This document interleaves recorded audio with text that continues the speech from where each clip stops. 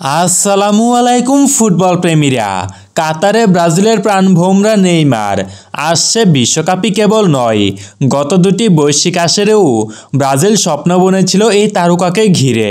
দু হাজার চোদ্দ আসরে নেইমার চোট পেয়ে ছিটকে যাওয়ার পর পথ হারিয়েছিল ব্রাজিল, আর গতবার শেষ আটে খুব প্রয়োজনের সময় দলকে পথ দেখাতে পারেননি এই তারকা। হতাশার সে কালো মেঘ ফুরে এবার কি পারবেন আলো ছড়াতে নেইমার? আন্তর্জাতিক ফুটবলে দুই হাজার এগারো সালে অভিষেকের পর থেকে নেইমারের জীবনে অনেক কিছুই বদলেছে। ক্যারিয়ারের অনেক চড়াই উতরাই দেখেছেন তিনি। ক্লাব ফুটবলে বার্সেলোনার হয়ে যেমন সাফল্যের শীর্ষে উঠেছেন, তেমনি অনেক আশা নিয়ে পিএসিজিতে আসার পর ব্যর্থতার ছবিও এঁকেছেন তিনি। তবে তার সামর্থ্য নিয়ে প্রশ্নের অবকাশ কখনোই ছিল না, এখনও নেই। এখনও আগের মতোই তিনি আছেন সময়ের সেরাদের একজন আনপ্রেডিক্টেবল নেইমার।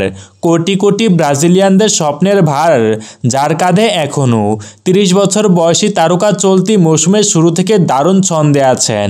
বলা হয়, সময়ের সেরা ফর্মে আছেন তিনি।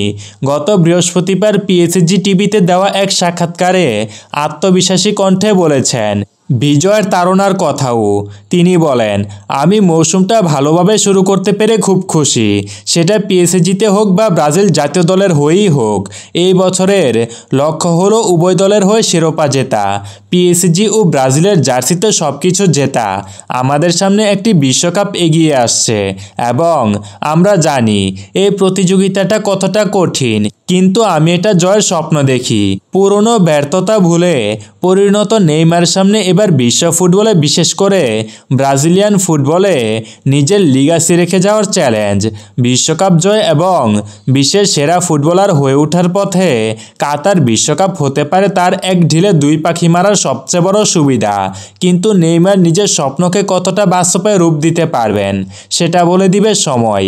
আপাতত বিশই নভেম্বরের জন্য অপেক্ষা করাই যাক। কেননা, কাতার বিশ্বকাপ তো শুরু হচ্ছে সেদিন থেকেই। আর কাদের হাতে উঠবে শিরোপা, সেটা জানা যাবে ঠিক এর এক মাস পর। আপনাদের কি মনে হয়? নেইমার কি পারবে নিজের স্বপ্নকে বাস্তবে রূপ দিতে? জানিয়ে দিন কমেন্ট করে। এছাড়া, যারা এখনও আমাদের চ্যানেলটি সাবস্ক্রাইব করেননি, এখনই সাবস্ক্রাইব করে বেল আইকনটি বাজিয়ে দিন।